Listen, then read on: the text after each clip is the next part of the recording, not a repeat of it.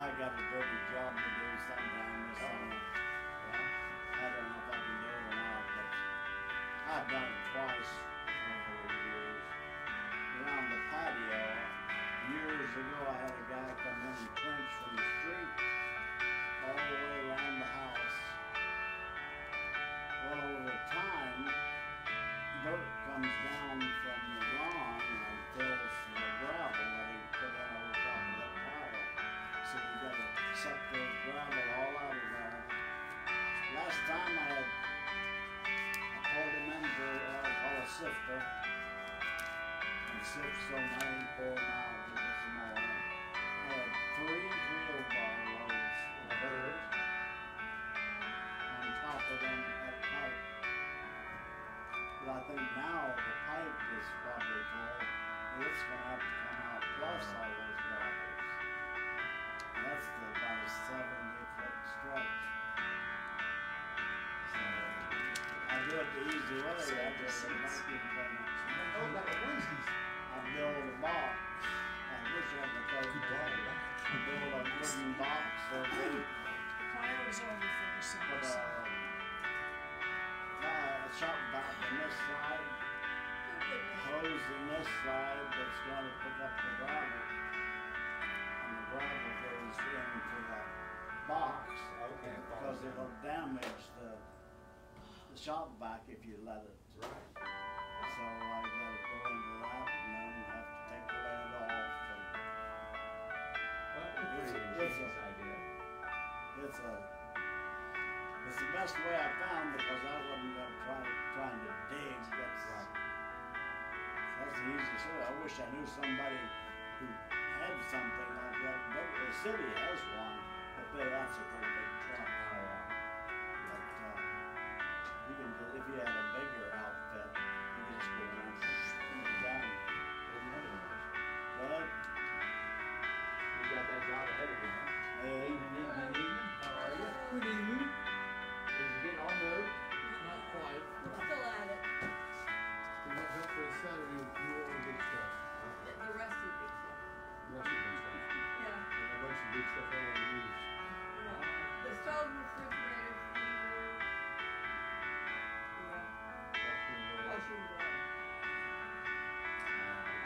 I got And two the two China apart. that are there.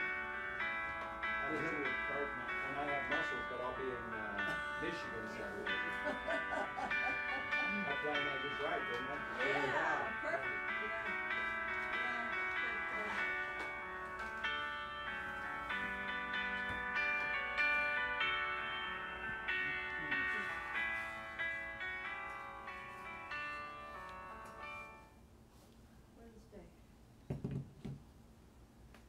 Well, good evening to everyone.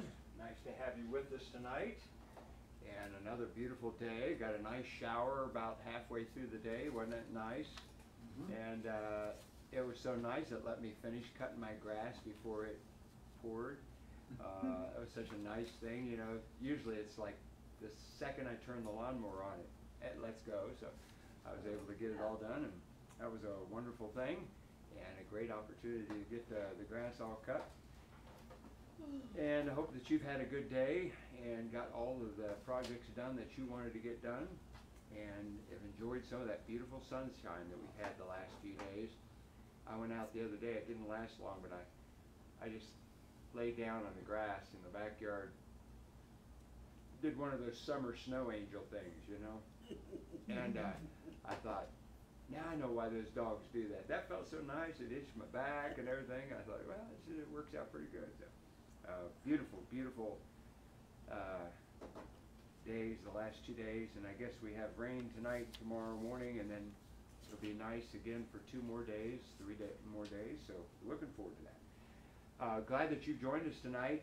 if you're just joining with us, we are involved in a study on the second coming of Jesus Christ, and uh, this was in response to questions that have been asked.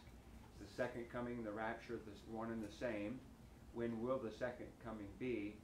And can someone get saved after the rapture? Those all those questions came from two different people. We've been trying to answer it, but we did a deep dive uh, in our subject of the second coming and we came up with this, that the main subject of the Bible is kingdom.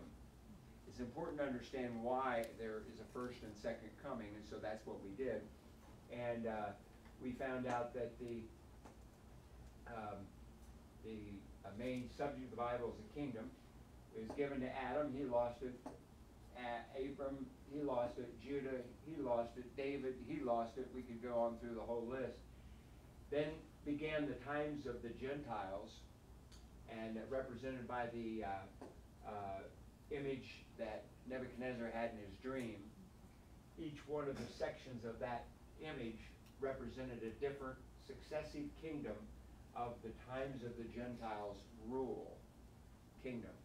And uh, the dream that uh, Nebuchadnezzar had that was interpreted at the end of the image, a stone rolled off of uh, a mountain, uh, hit the ten toes, destroyed the ten toes, and in doing so, set up an eternal kingdom. So when we're studying about the first and the second coming of Jesus Christ, and we want to know what or why, it's important that we understand the main subject of the Bible is kingdom. Uh, that is the main thought, the main subject of the Bible. And then, good evening. And uh, so, after establishing this, we said, okay, uh, Jesus came the first time, and uh, we looked at all the references and saw that Jesus came the first time for the purpose of establishing his kingdom. John the Baptist came out as the forerunner. Uh, it was prophesied to do that. Uh, he was the forerunner after he came out and was prophesied as the forerunner. Um, we even read where Jesus said that he was, John the Baptist was Elias, prophesied in the Old Testament, Malachi, Isaiah 40. And then he put a little caveat to it, and that is the kingdom suffereth violence, and the violent take it by force. And if you believe it or if you receive it, then this is Elias. So he's saying as if the nation of Israel would receive the kingdom instead of trying to take it by force, if they would receive the kingdom through the offering of Jesus Christ, then John the Baptist would have been Elijah. Of course, we know that he they didn't. John 1:11 came to his own, his own received him not, and so they rejected Jesus Christ. And so instead of being the first coming of Jesus Christ to set up this kingdom, they rejected the kingdom. John the Baptist's preaching was about the kingdom. Jesus' preaching was about the kingdom. Everybody's focus was on the kingdom. Even after Jesus' death, burial, and resurrection, Acts chapter 1, verse 8, they said, Will you at this time restore the kingdom again to Israel? They never got kingdom off of their mind. Their focus was always on the kingdom. The Jews never looking for a Savior who would die for our sins and take our sins upon himself and live in us through his Holy Spirit. No Jew ever saw that in the Bible. Never. They weren't looking for it. That's the reason they could stare Jesus right in the face, hear him say, Nicodemus, marvel not that I said unto thee, you must be born again. And then explain to him about the Spirit operation of the new birth, and it went choo, right over the top of their heads. They, they could not get it. They just, they weren't looking for that. And so um, Jesus even scolded Nicodemus. Are you a master in Israel and you don't know these things? Okay, he said, you know, you should know these. Well, clear over the top. He came, they rejected the kingdom. And so we made the statement that Jesus' first coming was to set up the kingdom, but the kingdom did not come because of the rejection. Now, what this is referred to sometimes in some people is postponement.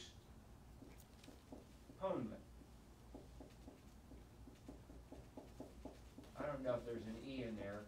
If you don't like the E in there, you can take it out, okay? Um, but postponement theory. The postponement theory is that Jesus came to the Jew, the Jew rejected him, and so he's going to come back again the second time for the Jew, but it's postponed by X amount of years. The people that refer to this as the postponement theory don't mean that in a positive way. They mean that in a negative way. It's like a mockery. Oh, you're one of those postponement people. Okay? And uh, they just, in their mind, they can't get that. That if you look at, he came into his own, his own received him not. Verse 12, but as many as received him, to them gave he power to become the sons of God, even them that believe on his name. People cannot wrap around their head that those two verses are two different things. He came to his own, who's that? Jews or Gentiles? Jews. Jews. His own received him not. But as many as. Who's that? Anyone. In between verse 11 and verse 12 of John chapter 1, no one sees, few people see, the huge chasm between those two verses. One was to his own, they rejected him. So, now the way we understand that chasm of verse 11 and verse 12 is we run to Romans chapter 11, where Paul writes and says that God cut off the tree that represented Israel and grafted in another tree. Romans chapter 11. And that, that's where that verse 11 and verse 12 of John chapter 1 is illustrated of this postponement. Is that the postponement is, is he set Israel aside. And he refers to it in uh, Romans chapter 11, I believe it's verse 30 or 33, somewhere in there, about this mystery. I don't want you to be wise in your own conceits about this mystery. That blindness in part has happened unto the nation of Israel. Is that verse 33, Twyla, or what is that? Over. Oh, the depths both. the Okay, so go, um, I'll find it here. Now you know I'm fallible. Oh my. Uh, Romans chapter eleven. Oh, I was way off. Okay, um, um, oh, I'm way off. Where am I wanting to be? I thought it was Romans chapter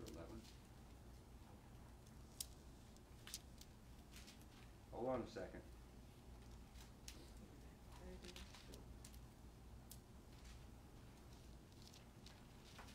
I'll get there. I'm looking right at it and I'm not seeing it. You know why? Here we go. I was right. Romans 11. I just look, look, at the wrong page and I gave you the wrong verse. Okay, verse 25. For I would not, brethren, that you should be ignorant of this mystery. See that? Mystery. That's the reason nobody got John 1, 11, and 12. It's a mystery. Lest you be, should be wise in your own conceits, that blindness in part is happening to Israel until. That's postponement. What? The fullness of the Gentiles. Here it is, right here. And when's that going to be? At the toes. That blindness in part has happened in Israel until the fullness of the Gentiles be come in. So when we were doing this study, um, I erased it because I didn't think we'd need it. But if we take Adam, we did the study, we went all the way down through. Remember when we came down from Adam, we came to David, and then David to Solomon, and Solomon, the kingdom split. All right? And when the kingdom split, Jeroboam, Rehoboam, that kingdom split north, ten tribes, south, referred to as Judah. Israel in the north, Judah, okay? And the ten tribes fell into the hands of Assyria first, and there was more orthodoxy in Judah. Why? Mm-hmm. Because it's the seat of Jerusalem. Remember, that's God gave Judah this tract, which is Jerusalem, and so they they they didn't apostatize as fast, and so um, this kingdom split. Both of them ended in destruction, and that is when the times of the Gentile began. Right here. Guess who was was that came in and got Judah? Do you remember? Nebuchadnezzar. So so who had the dream? Nebuchadnezzar. And so here's the time of the Gentiles, as Nebuchadnezzar's dream was. And so what you have here is the time of the Gentiles. You can call it postponement theory and mock me, or, or not you guys, but whoever would do that. But Romans is pretty clear that blindness of part has happened to Israel. Next word, big word, until. Until. There is a period of time, until. And he gives us the period of time. The fullness of the Gentiles become in. And that's what Daniel's uh, interpretation was. That when it gets down to the toes, God is going to end the Gentile rule of this world by Jesus, the rock, the stone rolling down off the mountain, is going to crush the ten toes. It's not break the bones, it is take over those nations. And he's going to set an eternal kingdom where he reigns. And so there are those that mock that idea of the difference between the first and the second coming in this sense of uh, um, um, um, it's a joke, I can't tell online. But uh, to mock this idea of postponement theory, but it's not a theory, it's biblical fact that there is a period of time between the first coming and the second coming. It's referred to as an until in Romans chapter 11, and it's referred to as a period between John 1:11 and John 1:12. So that's that's that period of time. And so here you have uh, Jesus coming back a second time as um, the second coming. Now, I wanted to, we started this, um, and I, I would just want to finish it if we can tonight. So the first time Jesus came, it was to set up a Jewish kingdom referred to as the kingdom of heaven. That's always a confusing term because we think kingdom of heaven. But the kingdom of heaven, according to Genesis, there's three heavens. One is the earth, and where the birds fly. The second's where the clouds are, and the third one is where God is. To give credence to that, Paul says over in 1 Corinthians chapter 10, I knew a man, whether in the body or out of the body, I cannot tell. Such a one was caught up to the third heaven, and he saw things that are not lawful for a man to speak. So there's three heavens. It's given to us in Genesis in the creation. One is from the earth, well, the depths of the sea, really. The depths of the sea to where the birds fly. That's the first heaven. Where the clouds and the atmosphere and the space is, that's the second heaven. And then the third heaven is over the North Star Draconis, uh, where God dwells. Okay? So there's three heavens. And so when Jesus speaks of the kingdom of heaven, he's not referring to the third or the second, he's referring to the first. The kingdom of heaven is on this earth. Acts chapter 1, verse 6 again. Will you at this time restore again the kingdom to Israel? Where was the kingdom back here in the Old Testament? Was it in up in the scars? Where was the kingdom? It was on the earth, okay? Will you restore again the kingdom to Israel? David's throne was not on a cloud somewhere, it was in Jerusalem. It's the earth, okay? Will you restore this, this kingdom again? So, um, the first time Jesus came, it was to set up this Jewish kingdom on this earth, but he was rejected. Now, so there's some that would mock us about the postponement theory, all right? We don't even take too much time to even address that because the Bible's so clear. Secondly, there are those that would uh, mock us because we said that Israel rejected, and as a result of that, we have the postponement theory. And they would say nobody can reject what God does. He's sovereign. That's a word that they will use. If you have a dictionary, or, uh, uh, if you have a concordance sometime, look up sovereignty in your concordance. Tell me how many times you find that in the Bible. So you always have to be weary, leery, excuse me. You always have to be leery of someone that uses a word that's not Bible. Rapture is not found in the Bible, but it's a descriptive word. Okay? Um, I prefer to use gathering, which is what the Bible refers to it as, but most people look at you like a tree full of owls, and they go, who? Uh, they, they don't know. So if you don't say rapture, they have no clue what you're talking about. But um, I, I like Bible words. Like Trinity, look up in your concordance, that's not in the Bible. It's a descriptive word. But the Bible word for Trinity is the Godhead. I like to use Bible words. Um, you can't go wrong if you use Bible words, but it's so hard to untrain ourselves from what we've been brought up as. Uh, you'll hear me say Trinity, and you'll hear me say rapture, and you'll hear me say uh, sovereignty of God. All those words, none of them are in the Bible. And the thing is, is if you do that enough, all of a sudden you start talking about what someone thinks rather than what the Bible says. It's real easy do that because there's a lot of very good, godly people that think. That doesn't mean they're right. They just think, okay? And uh, I always said this before. a guy might be a nice, really nice guy, but if he doesn't have a license, I don't want him flying the jet I'm riding on. Okay? I mean, the nicest guy is going to only go so far. If you don't know how to fly this, you could be a really nice guy. I'm not going to follow you out of that cockpit. Uh, so I, I, I look at that and I say, just because someone's good and godly and they're nice doesn't mean that they're right.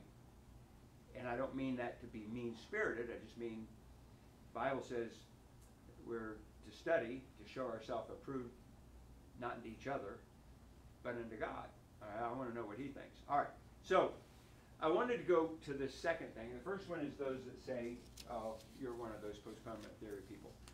Um, a second one I wanted to do is hit on these people that say your postponement theory of the second coming is the result of the rejection of humankind to God's plan. They would say that can't happen. That doesn't exist. Because God does what he wants to do, and he's not asking you what your thoughts are. And so they would take that to the place of saying that you and I can't really make a decision of our will because God's plans are already set, immutable, and they change not. And they would refer that to the sovereignty of God, that He is and can, because He is God, make whatever rules He wants, and it doesn't matter whether we like them or not, or agree with them or not, or even understand them or not. He's, he's sovereign. Uh, they will often use Romans chapter 9, where it says, Does not the, um, well, let's just look there because I was going to butcher that. Um, verse 21 Hath not the potter power over the clay of the same lump to make one vessel unto honor and another unto dishonor? So they would say, that's a sovereignty of God verse, saying that God's able to make some to honor and some to dishonor. And they create this entire belief system about that God has a plan, and they will take it as far as to say that his plans of sovereignty are connected with the word election and predestination. And that the words predestination and election illustrate the sovereignty of God. And therefore, they would say if you were not elected to be saved, you couldn't be saved if you wanted to. And if you were elected or predestined to be lost, you couldn't be saved if you wanted to. If you were predestinated to be saved, you could not not be saved, couldn't resist it. So they take it that man's will doesn't come into play and that it is God's sovereign will only. And so they would say, you said that the reason the first coming he didn't set up his kingdom is because the Jews rejected him, and that can't happen. Because there's no human will involved that could thwart the plans of God. So we talked a little bit about this before, and I just want to address it. And I don't want to go into a deep study with that, but uh, take your Bible and turn to 1 Peter chapter 1. And I believe that this is the cornerstone of the issue of free will versus um, election, predestination, as some people refer to that as being opposing thoughts. I don't think they are, but that's the way they're presented to us, is if you're elected, you can't have free will. If you're predestined, doesn't matter what you want. So they would say those are opposing thoughts. I don't think that's true, but I mean, I don't even think they're opposing thoughts. I think they're just mixed up. But that's what they would say. So Peter tells us, and this is a key, key verse, 1 Peter chapter 1, verse 2, that election is always based on something, and it's not the arbitrary choice, decree, or fiat of a quote unquote sovereign God. What is election based upon? Foreknowledge. Elect according to the foreknowledge of God. So, what I would say, instead of God having a fiat or a predestinated, elected uh, decree of His will, that God has foreknowledge, which is one of His attributes, and that is omniscience. He knows everything. And that based upon His foreknowledge, His plan based upon his foreknowledge, incorporates the will of man who would reject it.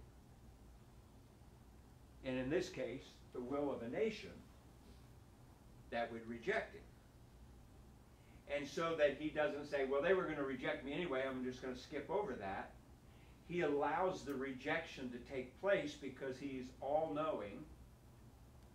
And he allows the rejection to take place so that human will in rejecting can be judged. Do you follow what I just said? So, and this is you what I just said you can find all the way through the Old Testament. We're going to look at a few of them tonight. But you can find it over and over and over and over again called conditional covenants. If you do this, then I'll do that. You know what doing this is? It's an act of the human will. When those split kingdoms, each of them separately fell, God had reached out to them multiple times to repent, but what? They would, that's will, would not. That's a will. That's an exercise of a will. When Jesus came on the scene, he looked over Jerusalem and he said, Oh, Jerusalem, Jerusalem, how oft I would have gathered you as a hen doth her chicken, but you what? Would not. Will. That's an act of the will. You, you can't divorce the will of humankind from the Bible. You have to get rid of half the Bible. All right? All right. Uh, so, um,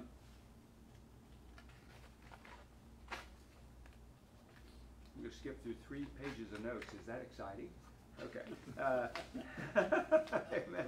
We're almost done. That's great. Okay. When we look at the context of predestination and election in the Bible, one thing is immediately clear. Remember, I said that what is given to us is that the free will of humankind is opposite of predestination and election. I don't think that statement is true. I think it is made by someone who's confused. I think you can have election and predestination and the free will of man. Because while the confusion comes is what did he predestine and what did he or who did he elect?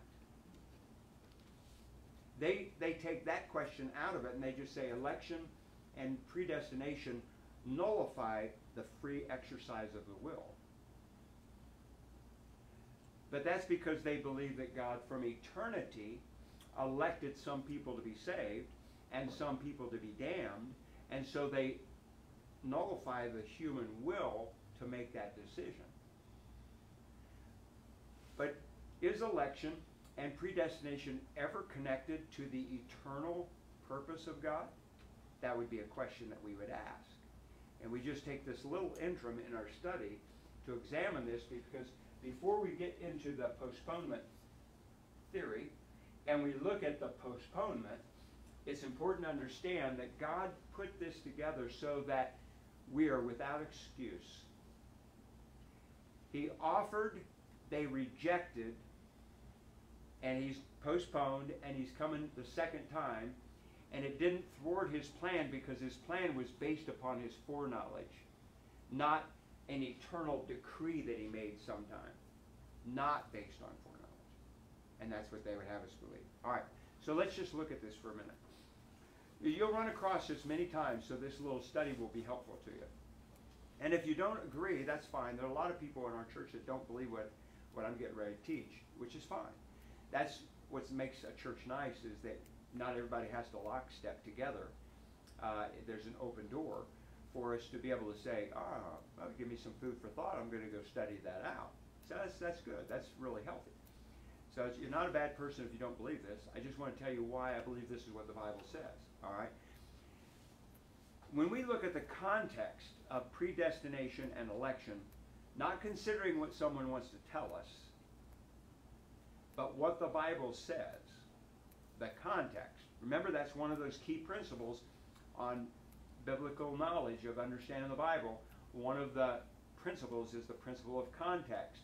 You can't extract a verse or a word or a phrase out of its context. Or if you remember when we went through that, I talked about the letter, that this fictitious letter, that we got that said, Dear young family, I love your blue dress. And I said I could read that and say, Well, I'm a young family. I love I they're, they're saying I had a blue dress on. If you don't take it if you don't put it in context, then you lose it. Because the sentence said, I love the blue dress you had on, Brenda. So if I just take, leave off the Brenda and I take that out, would, I could imply that it was me that had the blue dress on. You have to put it in the context. And so the, there's a famous saying is that uh, a text without the context is a pretext. Okay? And that's a real key phrase. A text, that's a verse, out of context, not, writ, not read with the verses before and after, is a pretext. What's it a pretext for? To make up whatever you wanted to make. And if you want to go down through the different belief systems that are up, you have Catholicism, thou art Peter, and upon this rock I'll build my church, out of context. You have Church of Christ, um, repent and be baptized, Acts 2, verse 38. Repent and be baptized, every one in the name of Jesus Christ for the remission of sins, and you shall receive the gift of the Holy Ghost, taken out of context. Every one of those beliefs are built upon that text as a pretext. They've taken it out of context, they've created a whole belief system around that. So a text without the context is a pretext, meaning that you can make it say anything you want. All right? Uh, and I'm not picking on my dear brothers and sisters that are in this. I have a lot of Catholic people that know the Lord. I'm so excited for that. That's exciting. And just because someone is hung up on Acts 2 verse 38 doesn't mean that they don't know Jesus as their Savior. I'm, I'm happy and, and I fellowship with them. I have great time with them. But I don't, I want to know what the Bible says. Not for them, for me. And so a text without a context is always a pretext. You're in trouble. It's quicksand. You're, you're going to get stuck, okay, when you don't allow the Bible to be its own teacher. All right, so let's take those words, election and predestination, not over here in the ideals of a reformist who wants to tell me what they think, but in the text and context of the Bible. Um, there's two that we want to look at. One is 1 Peter, where you are, and the other one is Romans chapter 8. Romans chapter 8. And verse 29. Romans 8 and verse 29. So we're going to read the first one again, 1 Peter, verse chapter 1, verse 2. What's it say? Elect according to the foreknowledge of God. Just looking at that verse, which came first, the election or the foreknowledge? Foreknowledge. Elect according to, right? Foreknowledge came first, and then election.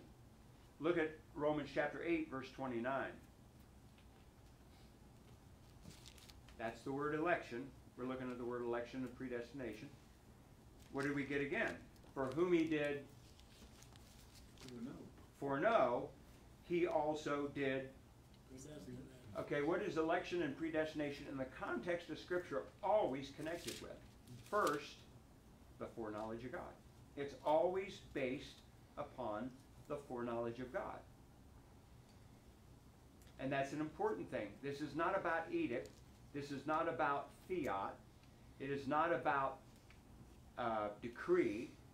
This is not about somewhere in eternity, which is not, you can't even make that statement. That suggests that there was a time in eternity.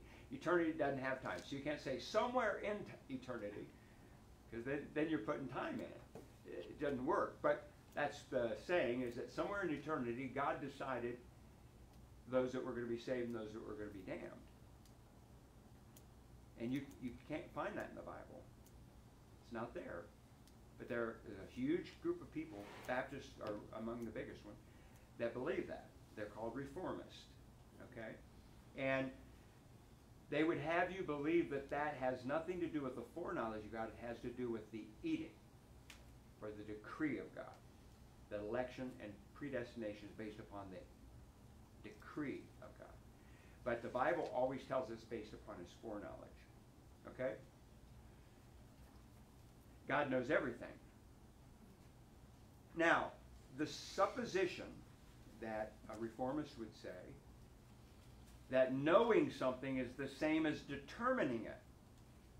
So once you read those two verses and you say it's based upon the foreknowledge of God, then they got to fix that. okay, because their whole their whole belief system crashes. So then they have to say, well, foreknowledge, what it really means is a decree. You see what I just did? That's the old. We were talking about the kingdom of the cults. Uh, that's what they do. They they won't ever go. Oh. They'll always go to something else. So here, what they do is they change and say that foreknowledge is about uh, determining or decreeing something. All right. But let's look at Acts. Acts chapter two.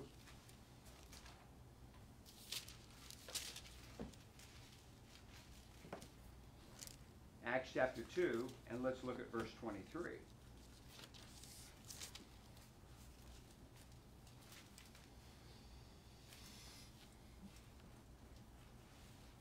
This is Peter preaching on the day of Pentecost. And verse 23, look at verse 22. Who's he talking to? Israel. You men of Israel, okay. And then in verse 23, who's the him? Jesus. Him, Jesus of Nazareth, verse 22. Him being delivered by the determinate counsel, there's determined. Uh oh, we got a problem. And foreknowledge of God. So the Bible is always the best teacher. If you don't forsake the Bible, you can be uneducated. And you can put those educated people who've been educated beyond their intelligence uh, to rest. Now they won't rest, but but I mean they'll keep trying to find a way to get around it. But you can't say that foreknowledge is the same as determined because Peter said that they're not. By the determinate counsel, all right, and foreknowledge of God. In fact, the verse is saying that what determines the determination of God is his foreknowledge. Okay? All right. Um, uh, let's look again at 1 Peter chapter 1.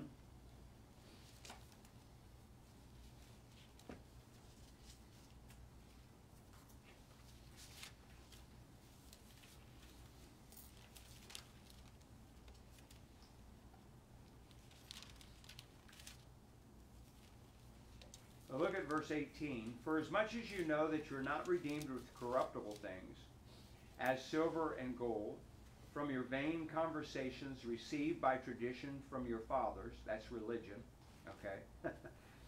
but with the precious blood of Christ, as of a lamb without blemish and without spot, who verily was foreordained before the foundation of the world. Who was foreordained? You and me? Who was foreordained, Jimmy? Christ. Jesus Christ was foreordained. See, I, I don't think that there's a, a contradiction between election, predestination, or foreordination and the free will of man. I don't think there's a conflict there. That's been made a conflict by those who want to say that there's that you and I were what he elected, what he foreordained before the foundation of the world. All right. Um, look at Matthew chapter 20. Matthew chapter 20.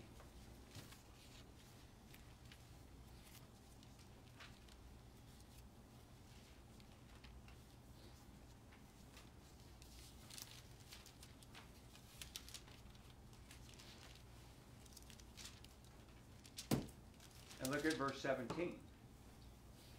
And Jesus, going up to Jerusalem, took the twelve disciples apart in the way and said unto them, Behold, we go up to Jerusalem, and the Son of Man shall be betrayed unto the chief priests and to the scribes, and they shall condemn him to death, and shall deliver him to the Gentiles to mock, and to scourge, and to crucify him, and the third day he shall rise again. If you want to know what he determined, that's what he determined. It's about Christ. It ain't about you and me. It is about Christ. And that's the reason Jesus could say, even before it happened, based upon his foreknowledge, this is the reason I was sent into the world, and because of my foreknowledge, I know exactly what they're going to do. When he rode on the donkey into Jerusalem and they laid palm leaves down in front of him, he didn't say, "Oh, this is this is exactly what I want." And then when they said, "Crucify him," he went, "Oh no! How did this happen?" That's not what happened. He was under no illusion when they were laying palm leaves in front of him what ultimately was going to happen because of his foreknowledge. He knew. All right. Uh, the two words are not the same determined and um, uh, foreknowledge. Two different things. If the two words were the same, um, how can we explain the events that occurred in 1 Samuel? Look at 1 Samuel chapter 23. 1 Samuel chapter 23. 1 Samuel chapter 23. While you're turning there, let me give you the background. David is in uh, Keilah, and hears that King Saul is coming down to get him. This is when he was running from King Saul. David is in Keilah, hears it, King Saul's coming to get him, and so he calls for the ephod. I don't know if you know, the ephod is like the, the linen robe that the priest would wear, and attached to that linen robe, the ephod, was the breastplate that had the 12 stones on it. And underneath that breastplate, a leather uh, material, underneath that breastplate were pockets. And there were two items, small items. Many people think they're like stones. Anybody's guess because it doesn't say. That are called the Urim and the Thummim. And so the priest would put those in the pockets of the breastplate that was held on by the, uh, we might call it apron of the ephod, a linen garment, all connected together, put those in there. And God would reveal right from wrong, which way, wrong way, with the Urim and the Thummim. And uh, there's many speculations of how that accom- uh, was accomplished. There's nothing definitive that I can find in the Bible. Maybe, but I don't, I've never found it. Uh, we just have to, by faith, believe that when the priest would ask, or whoever it was that would ask, with the linen ephod and the breastplate and the Urim Thummim, that God would reveal by one or the other One is guilty, one is uh, not guilty, one is yes, one is no.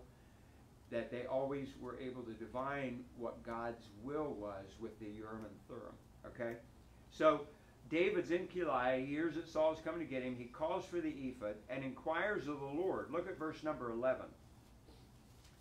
Uh, 1 Samuel chapter 23. This is what he asked of the Lord Will the men of Keilah deliver me up into his hands, Saul's hands? Will Saul come down as thy servant hath heard? O Lord God of Israel, I beseech thee, tell thy servant. And the Lord said, He will come down. Period. All right. What comes next is interesting. Because notice what it says in uh, verse number uh, 13. Then David and his men, which were about 600, arose and departed out of Keilah, and went whithersoever they could go. And it was told Saul that David had escaped from Keilah, and he forbade to go forth. Now, was God's plans thwarted? He said he's going to come down. But he didn't go down. Why? Because David left. To say that the plans of God are fiat, decrees, that can't be broken, makes it very hard to understand the Bible because the opposite is given to us in the Bible. And here this is this the foreknowledge of God. If if there had been a fourth question in verse 12 that David asked, maybe the Lord would have said, answered, They will deliver thee up, or excuse me, verse uh, 11, the Lord said, He will come down unless you leave. okay? But he didn't ask that. He just said, Will they come down? Yes, they will. Verse 12 then said, David, Will the men of Keilah deliver me and my men into the hand of Saul? And the Lord said, They will deliver thee up. And so David left, and so Saul didn't come down, and Keilah didn't deliver him up. These are the things that uh, don't fit uh, the the the theology of the reformist. It just won't work. And so they have to start doing well. The foreknowledge and determination are one and the same, that, but they're not. We know that from the scripture. I'm not trying to be a bully, and I'm not trying to be king of the mountain. I'm just saying these are questions that need to be answered if you have a reformist view. And the reason that we're doing it is not to poke a finger in the eye of a reformist by any means. I'd much rather have them my brother in Christ and fellowship with them because they love the Lord. There, there's no question about that. But if we say that the reason that there is a second coming over here with a period of time in between it is that the Jews rejected him, then the reformists would say, no, they didn't reject him, it was God's plan. Okay? And we want to say, no, we want to see this in the Bible. That's not how it works. All right. Um, because God is omniscient, he could have answered David's question if foreknowledge is the same as determined, something that cannot be changed, we should be able to follow this story to see the determination unchanged by the decree of God. But according to verse 13, uh, it didn't happen. So we understand by reading the two verses together that King Saul would have come down if David and his men decided to stay. What was that an exercise of? Free will. Free will. They left we made a decision. If he's coming down, we're not staying in Dodge, man. We're getting out of Dodge. we're leaving town, okay? An exercise of free will. And uh, this is always an important thing as we look at it. But each of them, Saul and David, did something else. Clearly, foreknowledge is not the same as determined or predestined. So, returning to these two words, election and predestination, the first thing that we notice is that they are both based upon the foreknowledge of God. That is, God knows, because He's omniscient, something before He determines, elects, or predestinates anything. And this is so huge. God knows before He determines, elects, or predestinates anything. All right? This is the Bible, not what someone tried to teach us, but what the Bible says. Making election or predestination an arbitrary act of a sovereign God is not supported, from my understanding, in the Scriptures. No matter where you find the words election and predestination in the Bible, they're always, always to be understood in the context of foreknowledge, not an arbitrary decree. Furthermore, let's examine the four places that the word predestination is used. Just so we can say, all right, we've learned some things. Let's put this to the test and see if it's true. So the first place is Romans chapter 8. We've looked at that. We're going to look at it again here. Romans chapter 8. Romans chapter 8. And look at verse 29 again. Romans chapter 8, verse 29.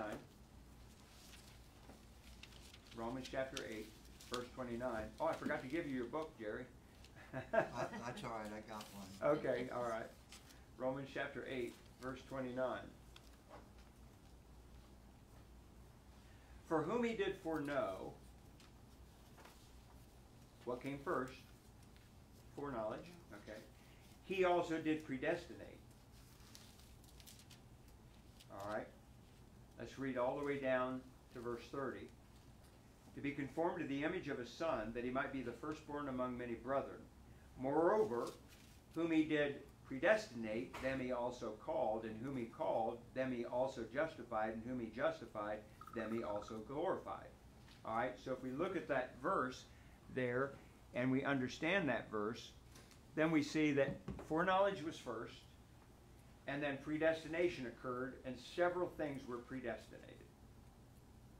All right, the first thing that was predestinated to be conformed into the image of his son. The second thing that was predestinated was called. Third thing is justified. Fourth thing is glorified. Okay? So that's what predestination did. Those things in the text. Okay? Look at if that's one place where predestination is used twice. It's only used four times in the Bible. Let's look at another place. Ephesians chapter 1. Ephesians chapter 1. And let's look at verse 5.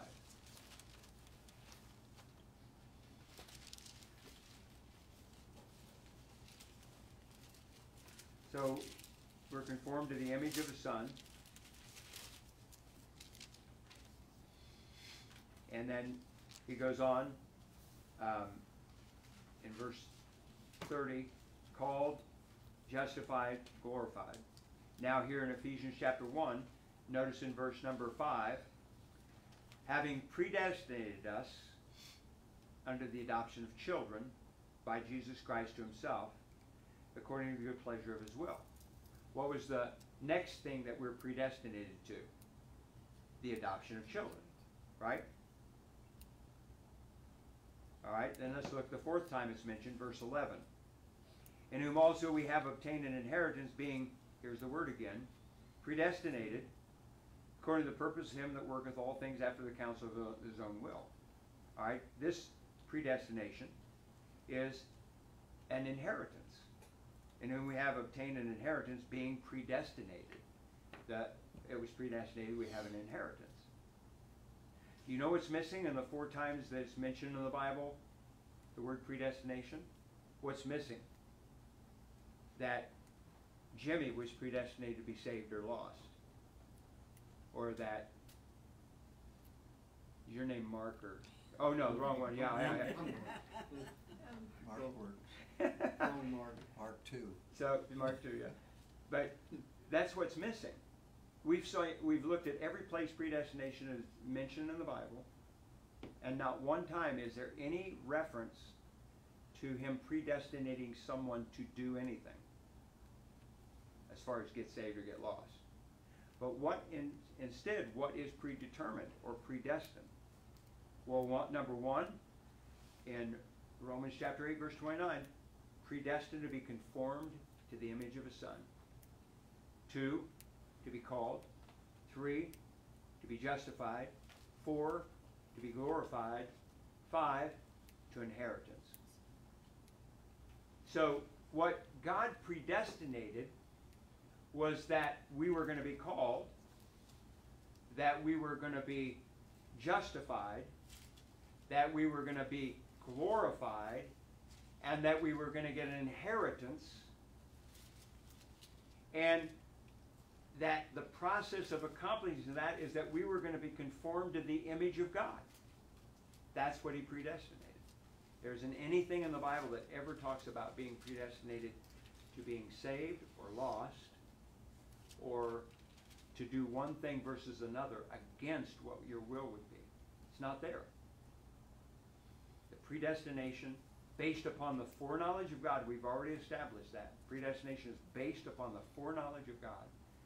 God all knowing, and this is it. I'll give it to you more simply. Jimmy, God predestinated that if you hear the truth and you exercise your will to accept the truth, that God's going to conform you to the image of His Son, that He is going to justify you from your sin, that He is one day going to glorify you with a new body, and that He's going to give you an inheritance that's incorruptible that passes not away. That's what He predestinated. Now, that's about as simple as I can make it. All right? Because that's what the Bible says. Well, is there any indication in the Bible that there is this process that goes on? Oh, I'm so glad you asked.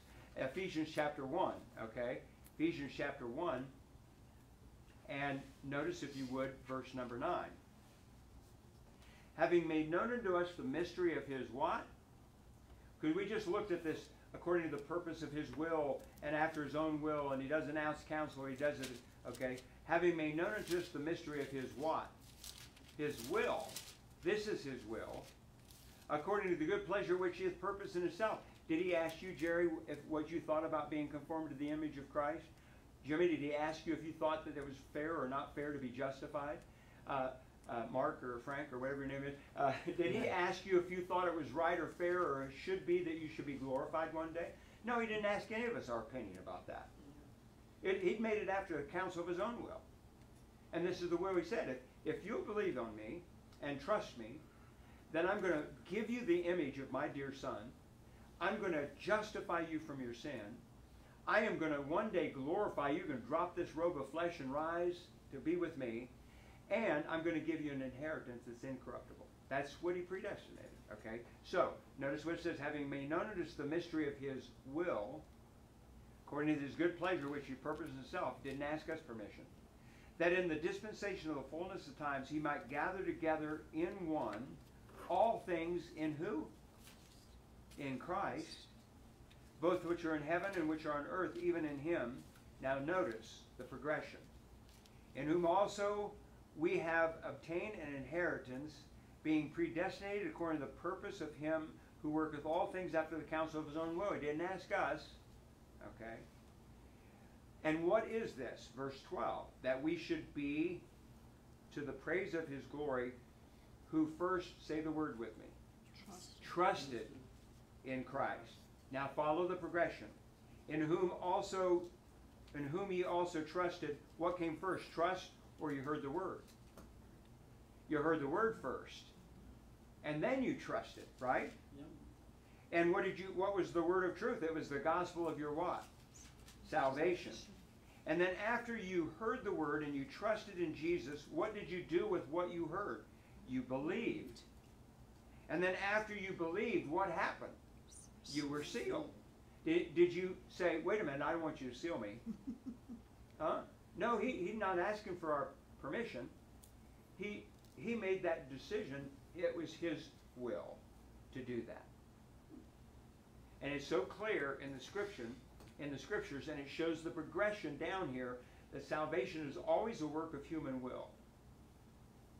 That we hear the word of truth, the gospel of our salvation, we trust after we believe, and as a result of that, we're sealed. And look at verse number 10. We're given an inheritance. Excuse me, verse 11. We're given an inheritance. It all works together. It goes together seamlessly like that all the time. All right. Now we're way out of time. I'm sorry. I got got going. I was so excited. I. now.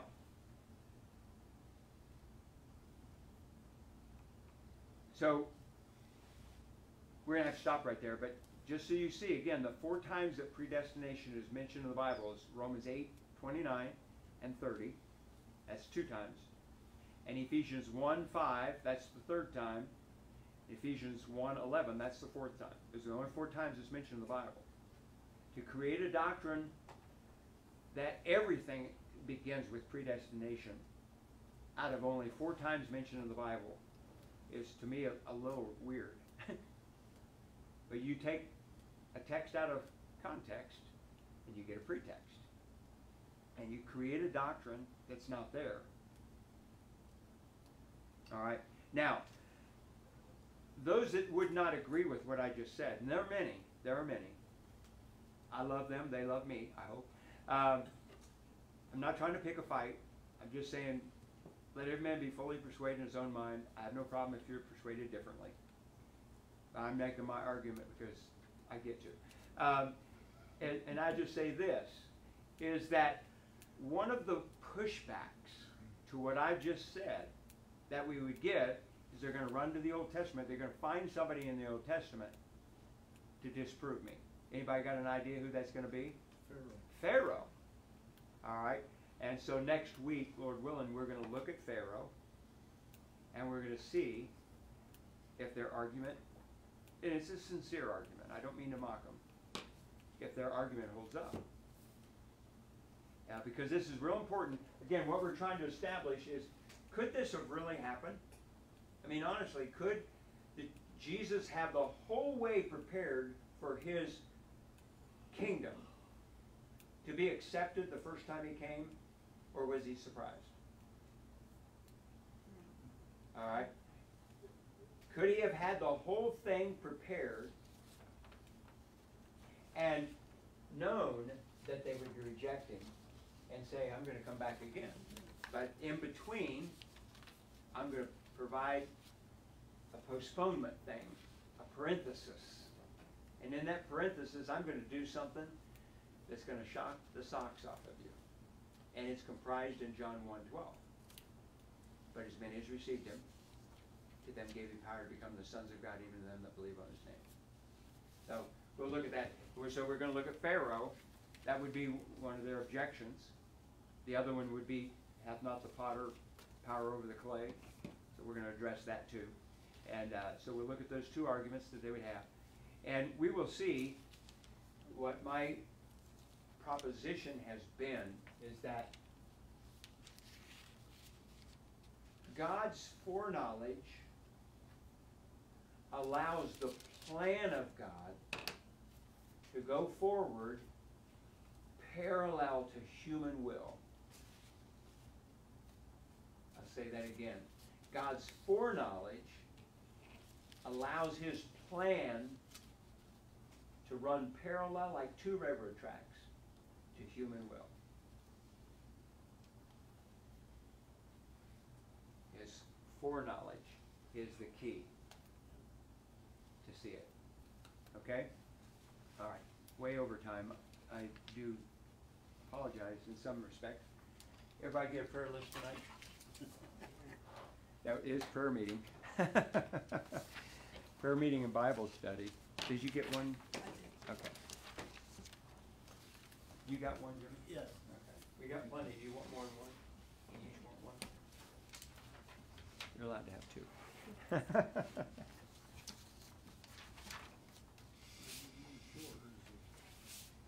So, um, for those who've been here, we've been praying for some weeks about Lisa's brother. He passed away, I believe it was last Friday. And, um, so, uh, please pray for Lisa and her family. Um, does anybody know if any arrangements, have you heard anything about the arrangements that have been made? Okay. Um, then also Rosalie and Elaine, uh, Elaine used to go to church here, she now lives in a different state, but, uh, Rosalie's, uh, sister, they are sisters, and they lost, uh, one of their sisters. I understand Rosalie's the oldest in the, in the family, I think so. and she's lost uh, several of her siblings. So uh, please be in prayer for her and for the family. Uh, Vonda has not responded um, to the rehab as well as they needed and wanted. And um, I think that they may be moving her to a hospital in Cincinnati, so please pray for them. That's all, just a tough situation. You, you get your hopes up when you see what looks like maybe some response and then the next day you go in and there's none. And uh, so that's a, it's a tough situation. Uh, but pray for, for them. Um, Beth uh, is uh, going in for knee surgery on the 9th. Um, so keep her in prayer, uh, which be, I think, is next Thursday, the 9th. 5th is Sunday, so. Um, and then Lisa also needs prayer with regard to her daughter, um, going through some difficult time there. Doris had surgery. She's recovering from the surgery. Um, pray for her. So that you know the connection is um, Susan and Rob, Rob's mom, husband's mom. Okay? Rob's mom's husband, mom, Doris. I don't, is that one of those three times removed things? I don't know what you call that. But anyway, so just so you know the connection that um, uh, Sandy, who is on, uh, she's on live stream a lot with us Facebook, that is Rob's mom. And this is her mother-in-law, Doris, okay? Um, Susan has been really sick. If you didn't notice, she wasn't here Sunday with uh, bronchitis. Remember her. Um, uh, Jan's going to have surgery on her eye the 16th of June. Keep her in your uh, prayers. And then Cheryl's uh, stepdaughter, Leslie, um, had the MRI that found several bulging discs and some fractured vertebrae. Uh, so keep her in prayer. Uh, Shirley's at home for right now. Linda's still in the hospital as far as I know. Uh, Brenda's sister-in-law still has not found a donor. And Judy Johnson is at home resting. Keep uh, that family in prayer. Then several of the other prayer requests are down there below the needs of the church. Others we've been asked to pray for. Continue to pray for Ben Wilson. Um, others that are down there, Tracy. Okay. Well, let's go to the Lord in prayer if we can. Father, we come before you tonight. We're so thankful for your word and how clear it can become. And I know that not everybody sees the clarity that we have espoused tonight, and that's okay. Uh, one day we'll get to heaven, we'll figure out who understood the word um, correctly. And maybe there'll be a little movement on everybody's part. It is not our intent, Lord, to um, be against someone or a belief. It's just to find the truth. And uh, Lord, if there are people that um, listen to this broadcast tonight and take exception to the things that we've said, it's, it's not the end of the world. Been argued for centuries, and it'll be argued after I'm gone. Um, one day when we get to heaven, we're known even as we're known, it will be settled. But from our understanding of the scriptures, I believe this is a correct uh, way and a correct approach to your word, consistent through Genesis to Revelation. And uh, I thank you, Lord, for it. I do pray, Father, that you continue to help us in this study, that in the all the rabbit trails we take, we don't lose sight of the main purpose, and that is the second coming of Jesus Christ. And uh, thank you for allowing us to go through this on Wednesday night, and how wonderfully it dovetails into our uh, Sunday morning Sunday school, adult Sunday school class. And uh, so we kind of get a double shot each week. And thank you, Lord, for that study. I do pray, Father, that you'd be with Lisa and Dale and the whole family as they go through the loss of uh, Lisa's brother and also the conflict and the uh, troubles uh, that their daughter is going through. I just pray, Father, that you'd be with them. I, I'm sure that it, it's hard to maintain uh, the normal life, work, eat, responsible things, and have all this going on around you. So I pray, Father, that you bless them. They're special people to us and dear to our heart and ask that you'd be with them. Lord, we pray also for Rosalie, and uh, I cannot imagine, other than I remember my grandmother saying I can't bear to see another one of my kids die.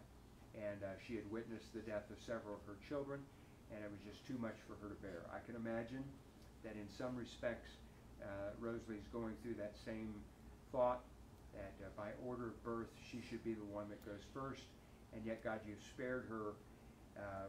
But in the midst of that, she has a grieving, grieving heart. And I pray, Father, that you bless her and help her, comfort her, Lord. Uh, come near unto her and help her, Father, find her strength and uh, you. And bless, I pray, Marilyn as she uh, cares for her. Uh, may you just bless them, I pray, the both. I pray for Beth as she prepares to go through the surgery that so many others have gone through. Oh, Lord, I pray that you would give her relief uh, from uh, the agony that she's going through right now. Uh, give her strength and comfort and bless her. Uh, Father, for Doris, as she uh, recovers from this surgery on her legs, uh, Lord, what a special person that is. And I just ask, Lord, that you give her a swift and quick recovery from that. Be with Susan as well as she bears some responsibility to care, but mostly um, I pray, Father, for um, Sandy and just ask, Lord, that you would help her as she becomes the primary caregiver. Lord, I pray for Susan as she's uh, sick due to bronchitis, and uh, that can be very, very hard to breathe and coughing and talking. I just pray that you be with her. For Jan, as she gets ready for this surgery in her eye, uh, Father, I pray that you uh, give uh, the doctors wisdom as they get in there. If they run into anything that they have not already planned to run into, that they uh, would have wisdom from above to address it. Pray, Father, for Cheryl and the stepdaughter, uh, the situation that she's going through. Uh, pray, Father, that you give uh, the, the neurologist wisdom as she uh, uh, seeks to find a way to minimize or limit pain. Pray, Father, for Shirley as you continue to help her recover at home. For Linda, as the doctors try to find out exactly what the cause of her problems are just bless her, Father, I pray. And uh, for Debbie, uh, Brenda's sister-in-law, uh, looking for a kidney, uh, we thank you, Lord, that you provided her the opportunity to keep a, uh, to do um, dialysis at home. Uh, but Lord, it, there are still limitations based upon that. And I pray, Father, that her health would improve as she gets approved for a, a transplant and then as she finds a donor. God, I pray that you be with her and bless her with that. Lord, our hearts always go out to Judy and Ed and uh, how many years they served so faithfully and, and here at First Baptist. And now uh, their life has taken a turn for uh, a different chapter in their book of life.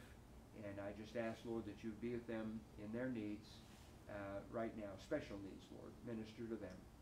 Lord, our we'd be remiss if we didn't remember our young people and the moms group and uh, those that will be singing specials this summer uh, for our VBS staff that are in high gear to prepare uh, for uh, this year's VBS. Pray that you be with Stevie and Anna both as their co-workers together. Uh, Lord be with Becky's granddaughter, uh, mother-in-law, Christine. Lord, I, just such a terrible disease, cancer, and I pray, Father, that you be with her and alleviate some of the pain. Be with Tracy as she continues to receive treatment for her lung cancer and uh, also the possibility that it may have spread. I just pray, Father, that you'd be with her. For Anne and her uh, situation with uh, um, uh, her good friends, uh, I know that, Lord, the loss of a loved one is hard to deal with, and I pray, Father, that you give Lydia strength. I pray also, Lord, for Ben um, starting to get their lives in order for what they've been told will be an eventual and soon end. Uh, my heart just breaks for them. And uh, Lord, there's so many things down on this earth that we don't understand. That as a songwriter wrote, we'll understand better by and by. Uh, Lord, I just pray that you be with that family, the mom and dad, the wife, the children. Lord, I pray that you be with them. Uh, we rejoice with Landon, who uh, is still on a feeding tube, but has completed all of the first round of his treatment and doing well. Pray, Father, for Connie, uh, Joan's friend, uh, and her uh, infection in her foot. Uh, for Shirley Cormican, who's going to have surgery in August. I just pray, Father, that you'd give her strength and that, Lord, you'd also make it possible for a quick, thorough surgery and a quick recovery. Father, I pray for Judy as she continues to go through rehab at Dorothy Love. Uh, be with her and Ken and minister to their needs. Lord, we offer to you our service this Sunday as we recognize our graduates and the fellowship that we have together, starting a new series uh, Sunday morning, and pray, Father, that your uh, will be done in all those things, that you would lift us up by your word, our fellowship one with another, by the singing of these songs that speak of the truth of what God has done.